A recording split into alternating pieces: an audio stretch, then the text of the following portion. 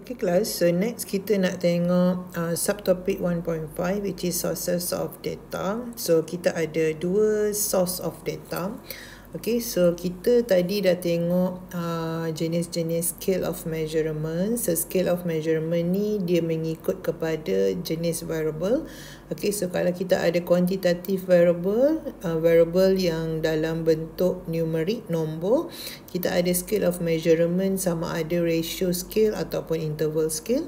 Kalau kita ada qualitative data, data-data yang tidak berbentuk nombor, kita ada dua jenis scale, nominal scale dan juga ordinal scale. Sekarang kita nak tengok source of data, macam mana punca ataupun daripada mana kita boleh dapatkan data kita. Kita ada dua source of data. Yang pertama kita panggil sebagai primary, primary data. Yang kedua kita panggil sebagai secondary data. Okay, so kalau awak tengok pada nama, awak dah nampak perbezaan kedua-dua data ni. Okay, kalau primary data, primer ni adalah pertama, data pertama. Kalau secondary data, second ni adalah data yang kedua. So, apa maksud data yang pertama dengan data yang kedua? Kalau primary data, dia adalah first hand data ataupun raw data apa dia first hand data ataupun raw data disebabkan pertama maksudnya first hand. So apa dia first hand data ataupun raw data? So first hand data ataupun raw data ni kita dapat daripada interviewer carry out the research and obtain data directly from respondent Maksudnya kita dapat data kita tu direct daripada responden. Contoh kalau saya nak kaji performance of student in statistik, saya terus jumpa dengan student tanya markah dia. So itu kita panggil sebagai primary data. Dapat directly daripada orang yang kita kaji tu. First hand, kita orang pertama yang dapat data tu, tak ada orang lain yang dapat dah. Tapi kalau secondary data, secondary data ni adalah primary data that has been collected, processed and published for the use of other people. Maksudnya, contoh, saya interview student untuk tengok performance. So data yang saya dapat tu adalah primary data sebab saya dapat directly daripada student. Kemudian saya proses proses proses data saya okey dan saya buat perbentangan. Lepas tu CC ni dia dengar perbentangan saya, dia ambil data saya. Dia ambil data yang saya dapat daripada student tadi. So C punya data kita panggil sebagai secondary data. Sebab okey ini adalah student, yang ini adalah saya saya terus pergi tanya dekat student. So data yang saya dapat adalah primary data directly first hand saya yang dapat. Lepas tu saya pun proses data saya, saya kira mode, saya kira median, saya kira mean. Lepas tu saya bentang, saya bentang yang C ni dia pergi ambil data saya. Dia ambil data saya. So C punya data kita panggil sebagai secondary data dia guna primary data yang telah digunakan. Bukan dia yang tanya dekat student ni. Dia ambil saya punya data. Yang tanya dekat student saya. So data saya adalah primary. Data yang dia ambil kita panggil dia sebagai secondary data. Okay dan secondary data ni can be obtained from newspaper economic report annual report companies or other sources. Maksudnya dia tak directly dapat daripada yang dia kaji. Tapi dia ambil daripada sumber lain contohnya kalau saya dah buat kajian saya pergi interview student saya pun proses-proses data saya lepas tu saya tulis dalam buku. Tiba-tiba uh, CC jumpa buku saya dia ambil data tu. Uh, itu adalah secondary data. Maksudnya dia dapat data tu daripada sumber-sumber lain tetapi bukan daripada asal. Okay, so kalau dia dapat uh, data tu daripada asal, kita panggil sebagai first hand data, primary data ataupun raw data. Okay, so itu adalah perbezaan antara primary data dengan secondary data. So kedua-duanya ada advantages dengan disadvantages. Okay, kebaikan dan keburukan. So kita akan tengok apa dia kebaikan primary data, data yang first hand. Apa kebaikan dia? Yang pertama, dia more accurate. Tepatlah. Sebab apa? Sebab kita tanya sendiri. Kalau contohnya saya tanya, uh, Azim, berapa markah test statistik awak? Mestilah Azin akan bagi tahu markah yang betul. Takkan Azin nak reka-reka betul tak? So kita akan dapat more accurate data kalau kita directly buat interview kepada kita punya elemen ataupun uh, kita terus direct tanya. Okay, reliable maksudnya logik dan up to date. Up to date lah because bila kita nak guna baru kita pergi interview so data yang kita dapat tu mesti sentiasa up to date. Another advantages is The primary data explain how the fact and figures were gathered and what limitation exist to their use. Because kalau kita ada primary data, biasanya kita deal directly dengan um, orang ataupun elemen yang kita nak measure. So kita boleh nampak straightly apa kaitan elemen ni dengan nombor yang kita dapat, apa kaitan uh, fakta-fakta tertentu dengan data yang kita jumpa sebab kita tengok sendiri. Contoh kalau kita nak kaji tentang uh, cuaca di sesuatu kawasan. So kita sendiri pergi tengok cuaca tu. So kita boleh relatekan keadaan dekat kawasan tu dengan data yang kita dapat.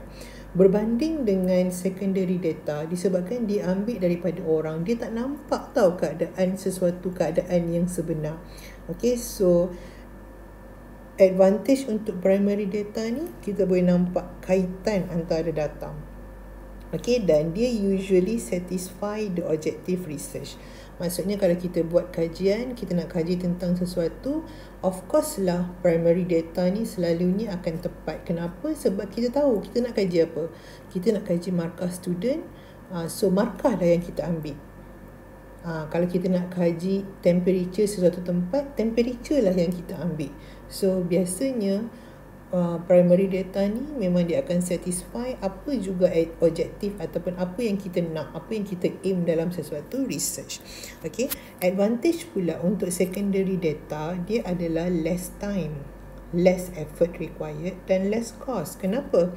Sebab kita tak perlu pergi jumpa atau kita tak perlu pergi kaji sendiri. Kita cuma ambil je yang dah sedia ada. So of course lah less time jiwa masa. Tak perlu pun kita nak tanya seorang-seorang, nak interview seorang-seorang. Tak perlu pun kita nak pergi kepada sesuatu tempat tu untuk dapatkan data. Kita cuma ambil copy and paste je daripada surat khabar, daripada buku contohnya. So that, that's why um, advantage untuk secondary data ni cepat lah dan cost pun tak banyak sebab kita tak perlu buat apa-apa. Kita cuma perlu ambil sahaja data yang dah sedia ada dan less effort required. Maksudnya tak perlu bersusah-susah. And is always available. So kalau macam kita nak interview biasanya kita kena tengok lah keadaan orang yang nak interview tu dia ada available ke tak? Pada bila masa dia ya, selesa untuk kita interview. Tapi kalau kita ambil secondary data kita tak perlu interview. Kita ambil je data orang. So dia always available. Tak perlu nak deal-deal tak perlu nak buat temu janji semua. Okay so itu advantage of secondary data Okay, sekarang kita tengok apa pula disadvantage untuk primary dan secondary data. So kalau primary data, that's uh, because of kita kena pergi untuk dapatkan sesuatu data, first hand data. So kita kena pergi untuk dapatkan data tu. So of course lah dia very costly. Okay, dia melibatkan cost time consuming dia akan melibatkan masa kita. Kita kena uh, luangkan masa. Kalau kita nak pergi interview orang kita kena luangkan masa. Mungkin satu hari dua hari. Berbanding dengan kita ambil secondary data just ambil copy and paste ya. Tapi kalau first uh, primary data kita kena tanya, kita kena analyze, kita kena interview, kita kena catat. So dia akan require a lot of manpower. Okay, tapi ada juga disadvantages untuk secondary data di mana secondary data ni may contain error. Okay, kenapa? Sebab kita ambil secondary data daripada newspaper, daripada buku. Sometimes kalau orang yang pertama tu uh, dia type salah ke kita copy je. Sebab kita tak tahu. Kita tak tahu data sebenar. So secondary data mungkin betul mungkin salah. Manalah tahu kalau di tengah-tengah printing tu tersilap type. Uh, so kita tak boleh nak tahu sebab bukan kita yang ambil data tu.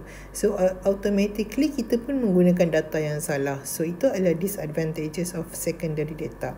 And then usually condition under which the data were collected or summarized are unknown. Must check either relevant or not. Macam saya cakap tadi lah, disebabkan uh, secondary data ni kita ambil daripada orang, so keadaan sesuatu data tu masa dia diambil kita tak tahu. Contohnya kalau macam C dia dia dia copy saya punya data. Masa saya pergi interview apa yang berlaku dekat interview tu? Adakah data saya tu logik ke tak logik ke? C tak tahu sebab C tak terlibat. C tak interview C cuma ambil copy dan paste Okay, so dia tak tahu the real condition semasa kita collect data tu. Dan disadvantages ketiga may not be able to fulfill research objective. So kalau katakanlah macam awak nak kaji performance student dalam subjek statistik, awak nak tengok uh, markah test 1 dengan test 2. Tapi yang ada yang markah yang available online test 1 sahaja. So dia tak fulfill lah apa yang awak nak. Awak nak buat macam mana? Sebab awak tak interview. Kalau awak interview awak boleh tanya apa markah test 1 apa markah test 2 tapi disebabkan awak guna secondary data so awak terpaksa lah guna data yang dah sedia ada. That's why secondary data sometimes not fulfill research objective Okay, so itu adalah dua jenis data yang kita ada, yang sources of data yang kita boleh uh, dapatkan iaitu primary data ataupun secondary data. Di mana primary data ni adalah first hand data. Kita directly interview secondary data ni adalah kita gunakan data yang dah sedia ada. Alright